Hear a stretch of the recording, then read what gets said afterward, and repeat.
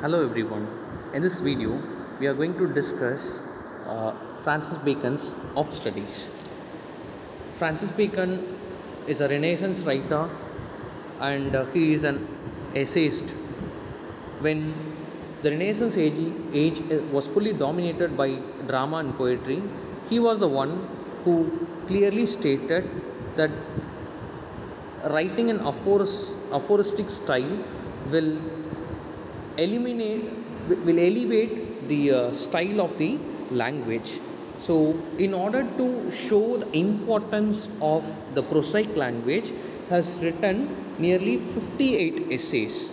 And uh, this essays were published in different years in three editions. For example the first edition it has only 10 e- e- essays and then the third edition it contains all the 58 essays in total. And uh, when it comes to uh, the concept of essay bacon was clearly influenced by montaigne because he is the one who inspired bacon to write this, this sort of essays. And bacon's language has a cutting edge which conveys the message in a very sharper sense because it is more essential when it comes to aphorism and most of the lines in his works retaliates the argument and assessment which appears to be more efficient. It, it goes hand in hand and you have his most famous text that is the advancement of learning by bacon it attained a huge success during his career and it, it, it occupies a prime talk among various critics and writers during the renaissance age and uh, we all know that uh, renaissance Renaissance age is a period for so many of scientific inventions. We have uh, the concept of geocentrism to heliocentrism because it's very important when it comes to uh, the Renaissance age because we all know the word Renaissance which means rebirth. But in what sense it is a rebirth? First, we need to understand that. So, in every sector, in painting, they found a rebirth. You have Michelangelo's Sistine Chapel painting uh, so every uh, painter during the time they come up with new ideas their paintings have given uh, a great message to the viewers. And then in the field of science the concept of geocentrism to heliocentrism happened. When copernicus proved that earth is not the center sun is the center in the year 1543 it, it shattered the whole world because before that people believe that earth is the center. We are geocentric. And he has broken that cliched uh, belief and he said that earth is not the center whereas sun is the center and other planets revolving and rotate itself around it. And the very dictum becomes wrong that is the sun the sun rises in the east and sets in the west. So we come to a moment that sun never rise, rises and the sun never sets. So a great invention happened or discovery happened during that year and Galileo Galilei he invented the thermometer. So slowly and surely science started to find the gradual growth and it is also the age of reformation we need to understand that first because in the year 1517 you have the most important um, a pamphlet was published by Martin Luther. Uh, it entitled 95 Theses Against the Sale of Papal Indulgence, which was published in the year, year 1517. And uh, he clearly stated how things should move. So, all these things help to find a variety of changes in literature and also in the society. So, imbibing all those things, people have an enormous growth in wealth as well as in knowledge. The printing press was introduced by William Caxton in England so that texts were printed and it is multiplied to the common people and uh, they started to learn, they gained the basic knowledge and uh, it initiated them to grow a lot. So these are all some essential factors of his age and uh, during this uh, 16th century we all know that poetry and drama was at the peak but he is the one who has cracked that and uh, he stated the importance of the prosaic language and um, his content will always be arranged in an aphoristic style which means the content will have a sharp edged message. So that is what an aphoristic style which he borrowed it from his influencer Montaigne and then the prose of studies focuses on the essentialness of reading and how it transforms an individual to a better life so it, it, that is what an essential thing. Just yes.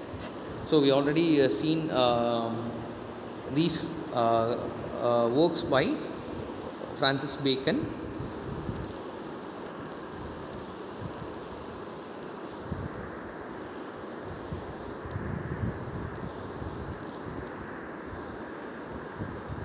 And then uh, the purpose which he insists in this essay does delight ornament and ability the three purposes of studies.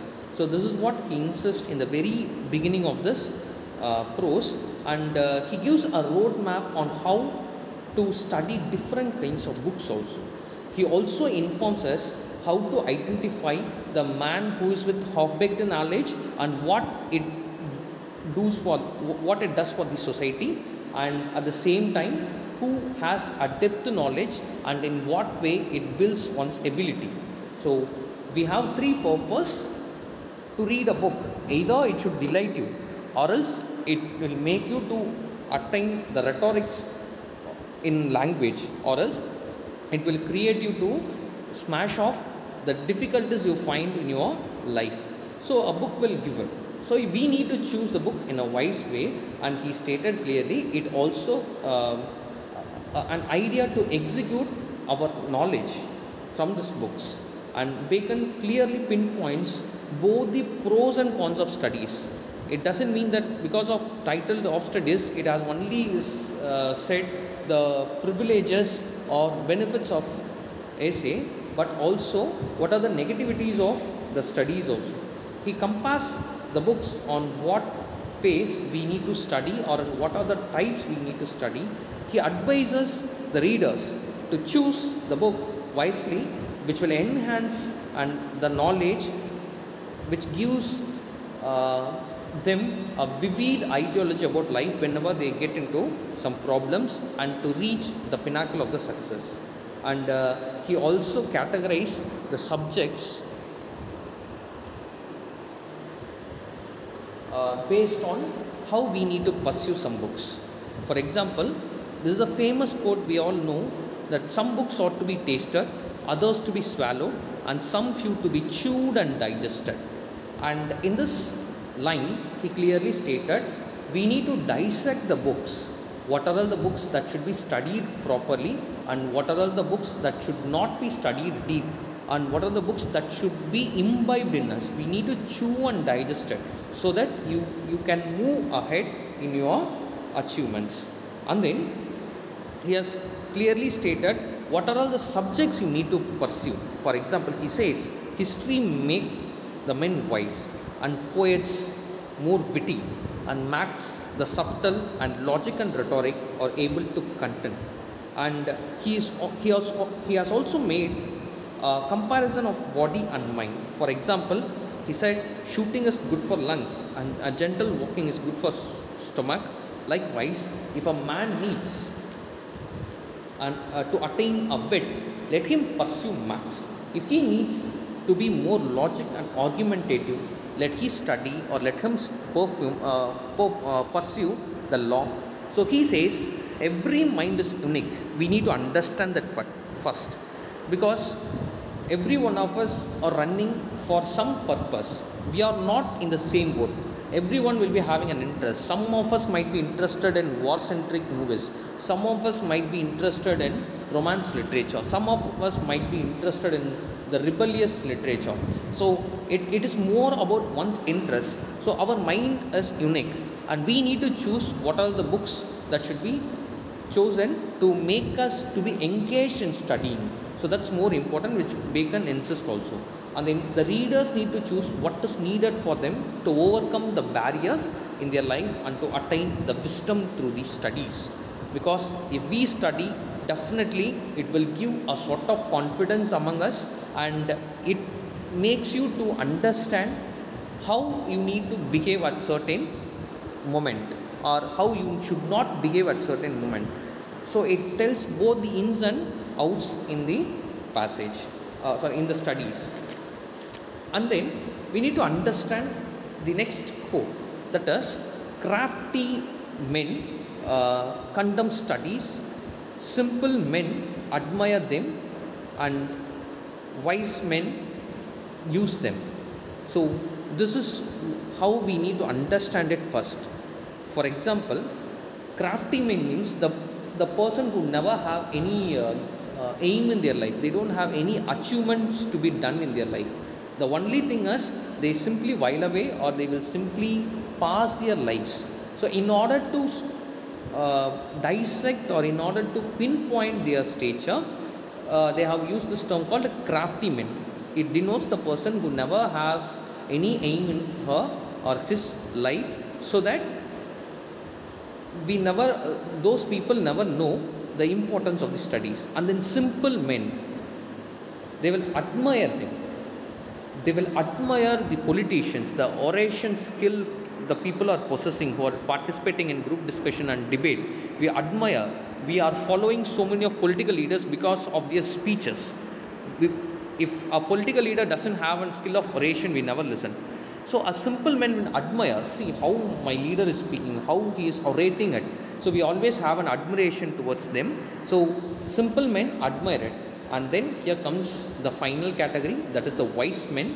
So wise men will utilize it will use it for their betterment. Whenever we face in uh, we, we face some problem we use our knowledge to rectify it. And that is what they stated clearly. Remember you have three purpose to the study which bacon mentions, uh, uh, mentions that is one it is delight and another one it is ornament and the third one it is ability. So wise men build an ability by reading books. So this will teach us to understand how we need to pursue the books how you need to select the books in what sense you need to read. So all these things are insisted in this uh, prose and then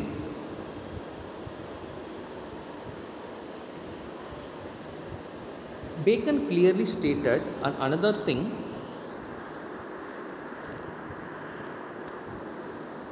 that is read not to debate and confute that means what? Don't try to study to show off you. Study to make you more knowledgeable more polite in the sense of knowledge. So if we start to grow in the field of knowledge if we gain more knowledge in our field we need to be very polite. We need to listen to others because we all know that reading is a process. Learning is a lifelong process. It can't stop at any moment. No one of us will say that yes i have enough knowledge. Not at all so. If we read the same essay for twice or thrice even if you go for the reading in the fourth time again you will have an interpretation. Why can't we perceive this line in the sense? So automatically we understand one point it runs for the ages. We, every one of us will be having a thirst. We have great leaders like socrates aristotle. So all those philosophers they studied they studied a lot and that is why their names are still in this history and we are speaking about them even as an example we used to uh, mention socrates. Know thyself. Studies will make you to find meaning for this dictum and that is what he informs. And then we, you, we have the thing that is you should not debate by your knowledge. You need to justify in what way you are right you should not make your voice to be higher make your points stronger. And that is what he expresses in this essay. And then bacon says one should not study to put others down. They need to learn what they are in the state. And then you have this famous saying see reading maketh a full man conference leads to a ready man while writing makes a, writing makes a ready man. So a perfect man will be made when he reads a lot.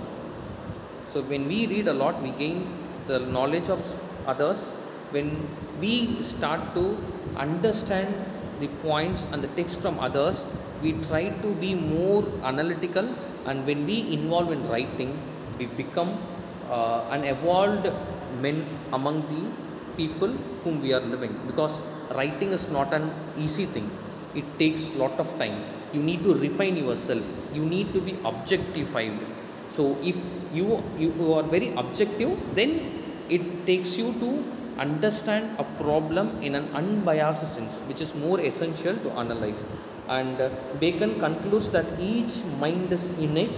One needs to choose his studies or her studies wisely to enhance them so this is what he concludes. And uh, that is all about this uh, prose of studies. Um, thank you